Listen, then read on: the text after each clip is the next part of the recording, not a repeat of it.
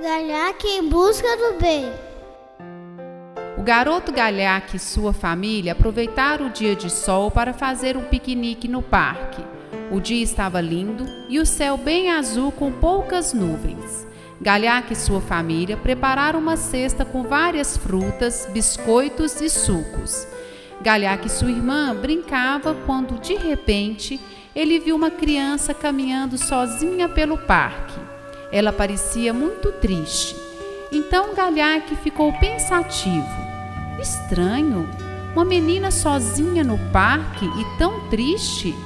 Ele resolveu se aproximar dela e perguntar o seu nome. Ei, ei, menina, qual é o seu nome? Eu? Sim, você.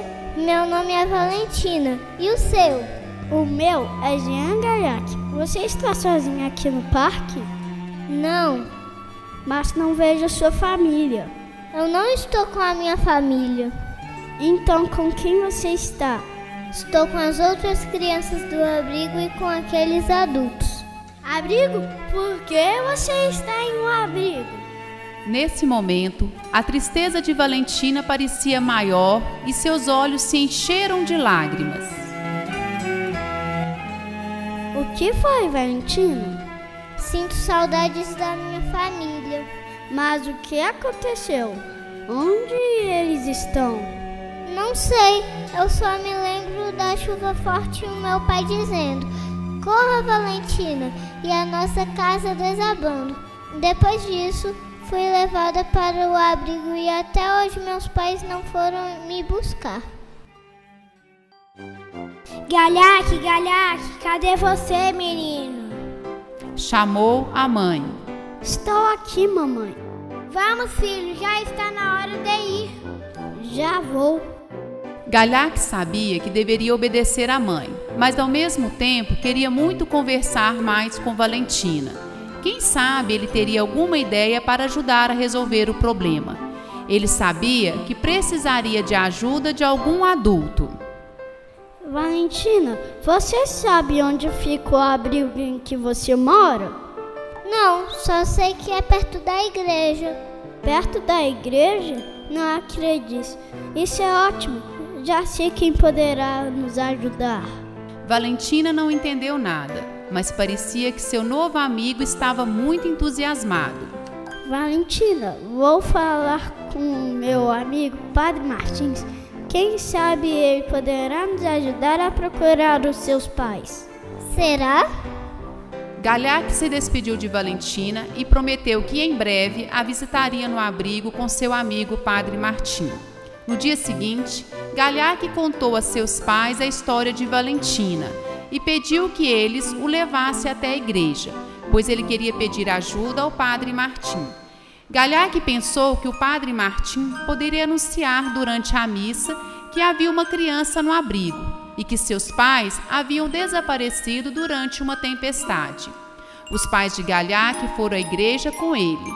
Chegando lá, Galhaque contou toda a história e a sua ideia para o padre Martim. Padre Martim ficou entusiasmado e prometeu ajudá-los no que fosse possível. Na manhã seguinte, Galhaque, seus pais e Padre Martim foram ao abrigo. Lá encontraram a senhora que cuidava das crianças. Ela explicou que o pessoal do abrigo estava procurando a família de Valentina, mas que toda ajuda era importante nesse momento. Eles se reuniram, Galhaque, seus pais, Padre Martim, o pessoal do abrigo e Valentina, e juntos começaram a fazer alguns cartazes com a foto de Valentina.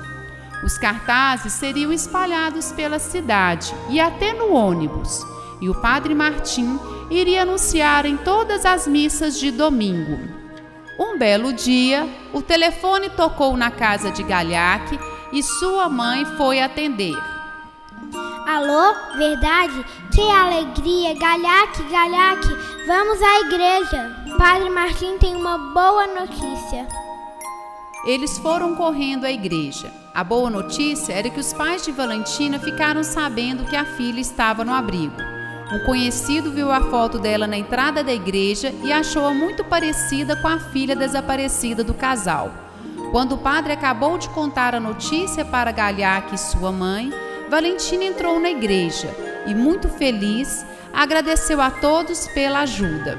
Ela estava com a sua família e iriam se mudar para a casa dos avós no interior, já que não tinham mais casa na cidade.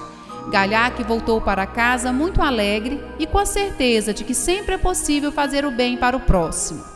Às vezes, uma ideia pode se transformar em grandes ações quando junto unimos forças em busca do bem.